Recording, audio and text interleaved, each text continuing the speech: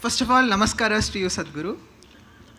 Sadhguru, I have worked very much hard to secure the first rank in common entrance examination and place me here.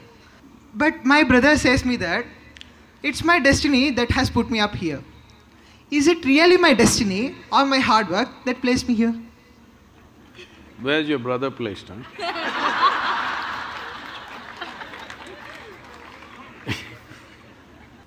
See, uh, what people are generally calling as destiny is essentially what they end up creating unconsciously. When I say unconsciously, as you sit here right now, as everybody sits here right now, there is physical activity going on within the system.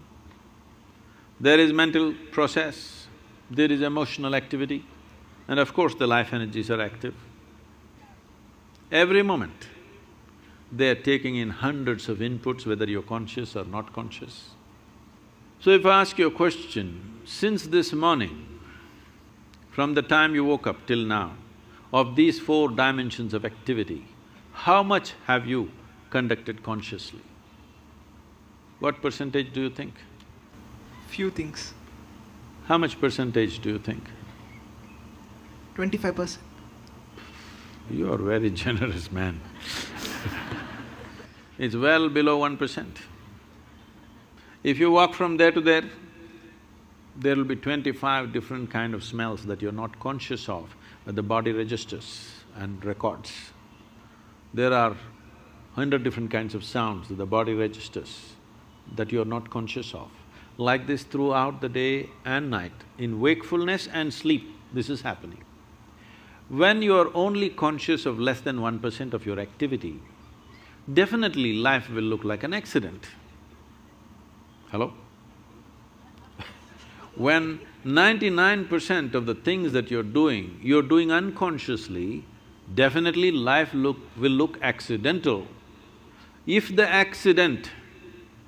See, it is so happened, somebody fell off on the street and had a brain injury, after that suddenly, they started working their mathematics in a wonderful way.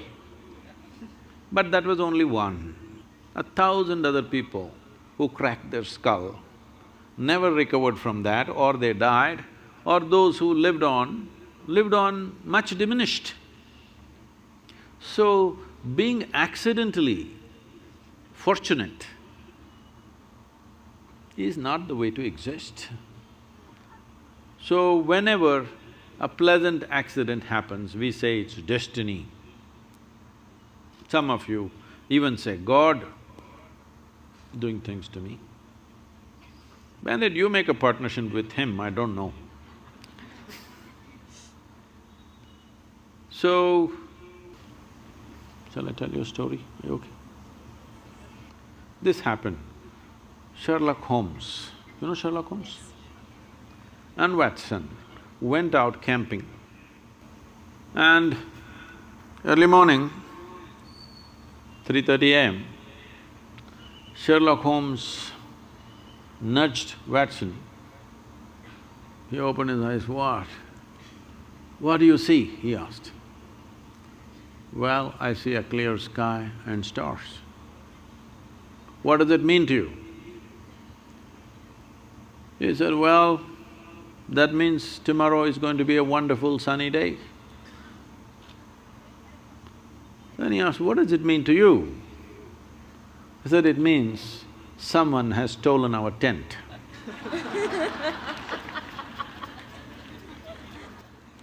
so, we don't know what went missing and something may fall here and there by chance, but that's not the way life works. If a human being doesn't take it upon himself or herself to make their own destiny, well, they should have… they're still having an evolutionary problem. That is, they are still not yet fully there. Because being human means this, that we can conduct our life consciously. Being human means this, that we can craft our life the way we want.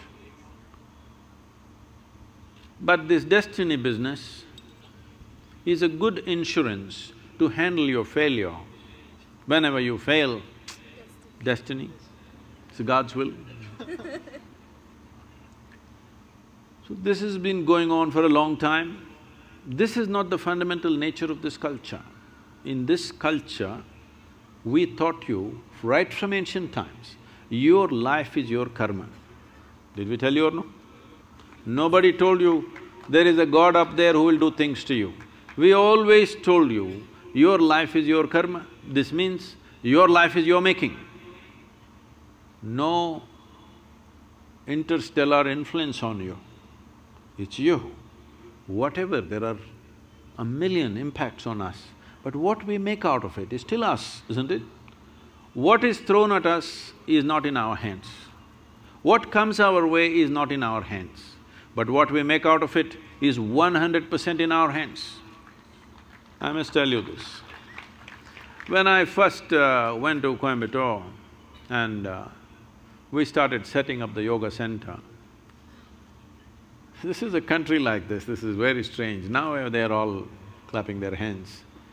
But at that time, simply rumors, oh, they're doing drugs, they're doing something else, they're here to kill the wildlife, they're killing tigers, they're killing elephants, all kinds of things. Rumors going around, even media reporting these kind of things. Then uh, hundred prominent people in the town meet and then they say, this yoga is spreading like a disease. These are the words. Uh, we have to do something. There some young hothead says, let's take a truckload of people and pull down the whole thing because the whole yoga center at that time was just thatch roof sheds. So they decided they want to come there and pull down the whole thing and be finished. Today, it is among the most prominent places in the country, okay So, when they said this, there was an old man who is no more, a wise man. He said, see, you don't know who you're dealing with. I know this man. If you throw stones at him, he will build something out of those stones. Don't throw stones at this man.